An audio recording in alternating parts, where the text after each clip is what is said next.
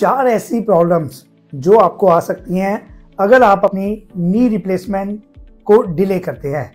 Number one deformity का बढ़ना। सो so, घुटने के घृषण में घुटने की चिकनाई बिल्कुल खत्म हो जाती है और घुटने का जो तिरछापन है वो बढ़ जाता है।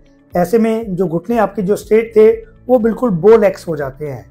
सो so, धीरे धीरे अगर आपके सर्जन ने आपको नी रिप्लेसमेंट के लिए बोला है और आप किसी कारणवश उसको डिले कर रहे हैं तो वो घुटने का तिरछापन बढ़ता रहता है और आपका चलना फिरना बिल्कुल ही मुश्किल हो जाएगा।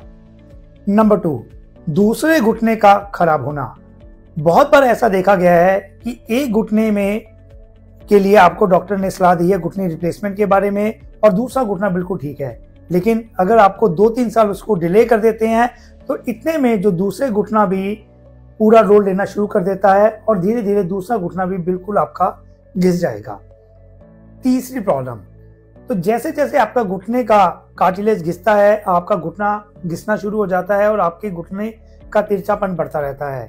धीरे धीरे जो आपकी नी है, जो स्टेट थे पहले, वो बोलेक्स हो जाते हैं और जब भी आप चलेंगे, ये सारा का सारा बोझ आपकी कमर उठाएगी। तो कहाँ तो आप परेशान थे घुटने की दर्द से, अब आपका कमर का दर्द भी बढ़ गया। सो कमर का दर्द भी घुटने के दर्द से डायरेक्टली लिंक्ड है और अगर आप अपना नी रिप्लेसमेंट करवा लेते हैं तो आपका चलना फिरना सीधा हो जाएगा और इसके साथ साथ कमर के ऊपर भी दबाव कम पड़ेगा। चौथा और आखिरी, आपका मसल का डिस्फंक्शन होना।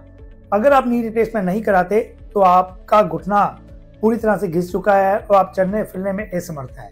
ऐसे में आप सारा दिन बैठे रहते हैं और आपका मसल बिल्कुल ही डिस्ट्रॉफी या उसका एट्रॉफी या उसका डिसफंक्शन हो जाता है। सो नी रिप्लेसमेंट कराने से आपकी मोबिलिटी बढ़ जाएगी, आपका चलना फिरना आसान हो जाएगा, आपकी ज़िंदगी तरोताजा हो जाएगी और आपका मसल भी ढंग से वर्क करेगा। सो ये चार प्रॉब्लम आपको आ सकती हैं अगर आप अपना नी रिप्लेसमेंट डिले करते हैं। Thank you